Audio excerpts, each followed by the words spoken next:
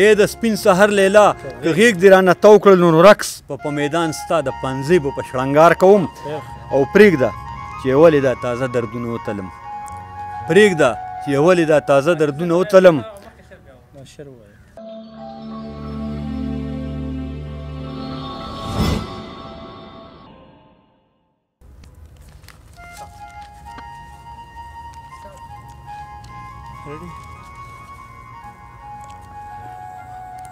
بسم الله الرحمن الرحیم مینوالو السلام علیکم یو ځل بیا بریل وفا تاسو مخاطب یم د ګرین سټوډیو نه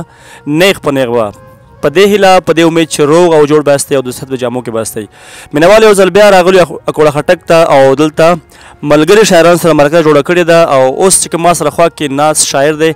ډېر ښه غزل او ډېر ښه نظم لیکي طارق تاثیر صاحب هغه ته هر کله وایي خپل پروګرام ته طارق تاثیر صاحب په خیر اغلی او ستړي مشه زموږ پروګرام ته ډیره مننه الله دې خوشاله کا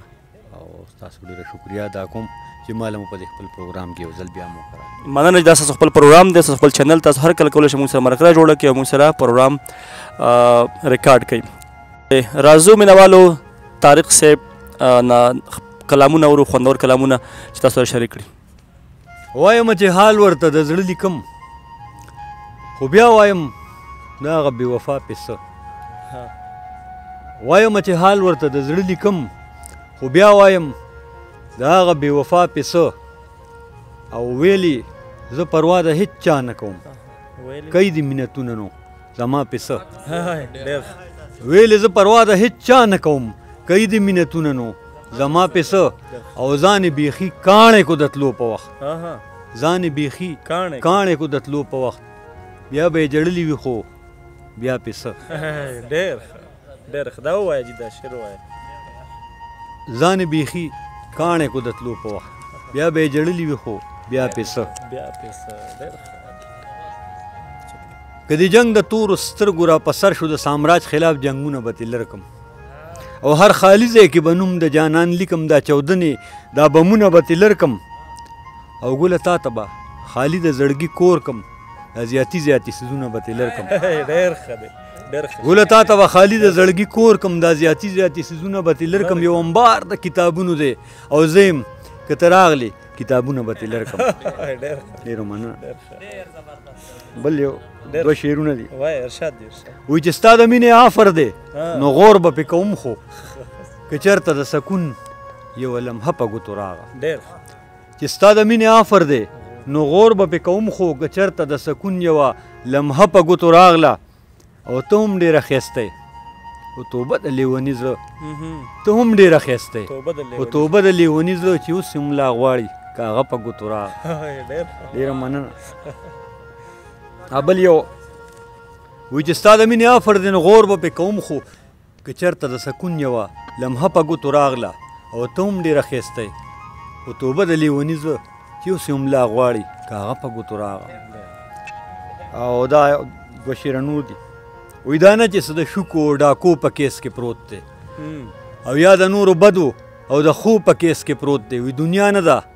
یو لویه قیدخانه د محبت ده او تاثیر پکې د یار دا ننګو په کیس کې پروت دی ډیره مننه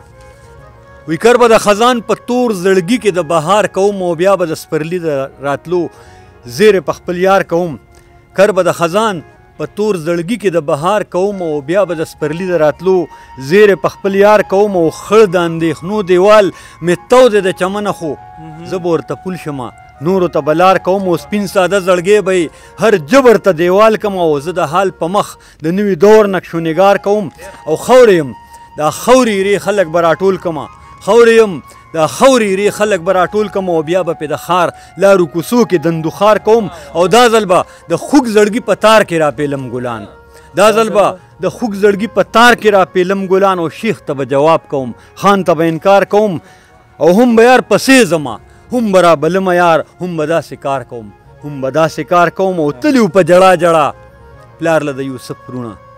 تلي په جړا جړا پلار له د یوسف پرونه نو څنګه برکی بستا پوخ کو اعتبار کوم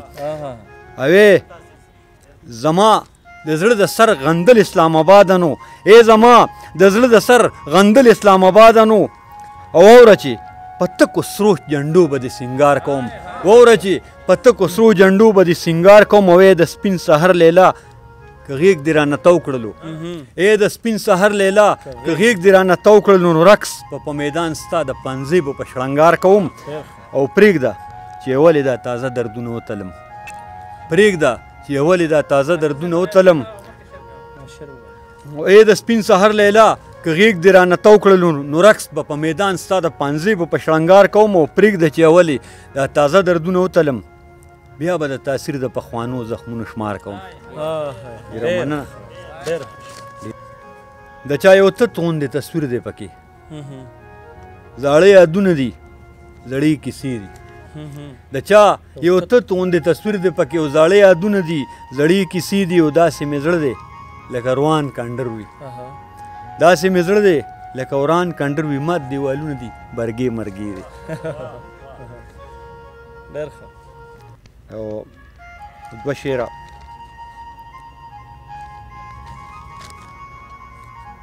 چې ستا د سترګو کاسې وګټم او سم خمار خمار شم څنګه ښکارم